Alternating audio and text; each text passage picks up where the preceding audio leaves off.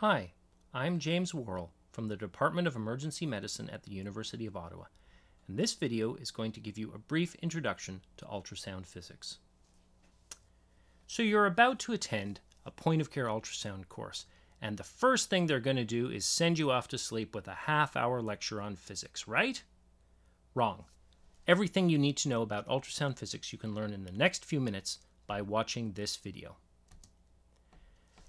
What are ultrasound waves? They're sound waves, and sound waves are mechanical waves that are an oscillation of pressure transmitted through a medium.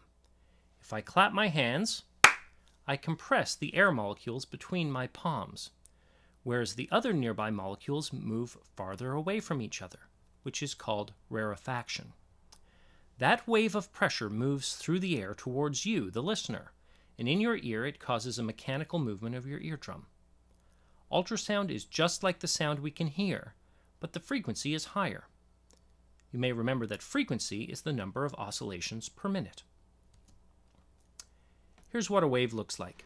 For any given speed, higher frequency waves have shorter wavelengths and vice versa. The speed of the wave depends on the medium it's traveling through. For instance, you may know that the speed of sound is greater in water than in air. An ultrasound transducer is both the source of the sound and the listening device. It makes a pulse sound wave and then it listens for the echo. It does this using something called the piezoelectric effect. There are these little crystals in the transducer, which, when subjected to an electric current, vibrate and generate the ultrasound wave. Then, when the echo returns, they deform, and that produces a current which can be measured. So when the wave hits a reflective surface, the ultrasound machine will detect the intensity of the echo and the time it took for the echo to return. So it will gain information about the medium the wave is traveling through and also the distance. Of course, the sound energy of the wave is reduced as it passes through matter. That's called attenuation. Naturally, some of the wave energy is simply lost as the wave passes through tissue, which is called absorption. And in general, different tissues will have different attenuation. Now, if the tissue is particularly dense or high attenuating, the ultrasound wave will not be able to penetrate it. Therefore, the machine will get no echoes from deeper tissue. We'll get something called an acoustic shadow behind the dense structure. The classic example of this is bone. Here we see an image of someone's aorta and IVC near field to their vertebral body. Notice that the bone of the vertebral body appears like a bright white line, with shadows behind it. Here's another nice example of acoustic shadowing. This is the gallbladder, and within it are gallstones. Gallstones are dense, they attenuate the ultrasound image, causing acoustic shadowing behind them. So we have seen how an artifact, acoustic shadowing, can be useful diagnostically. There are a couple more artifacts I want to explain to you. To understand refraction, think of what happens when you put a stick in the water of a pond. As it enters the water, the stick appears to bend. The light is refracted. Something similar happens with ultrasound waves. This is an image of an abdominal aortic aneurysm. You notice that there are shadows here, which we call edge artifact. This is called caused by refraction of the ultrasound wave. Another artifact is acoustic enhancement.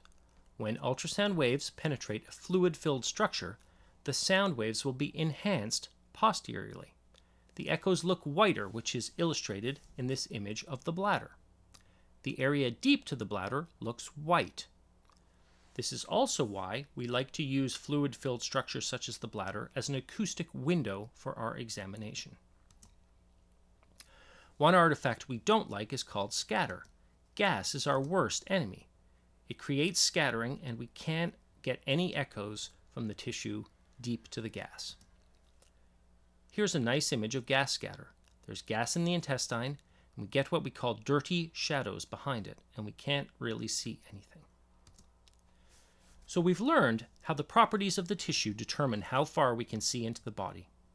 This is also affected by the power of the wave produced by the ultrasound probe. You can think of this like the amplitude of the waveform. but we can't really control this. It's set by the machine.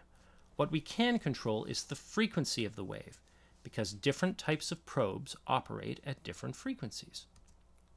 Therefore, you have to understand the relationship among penetration, frequency, and resolution.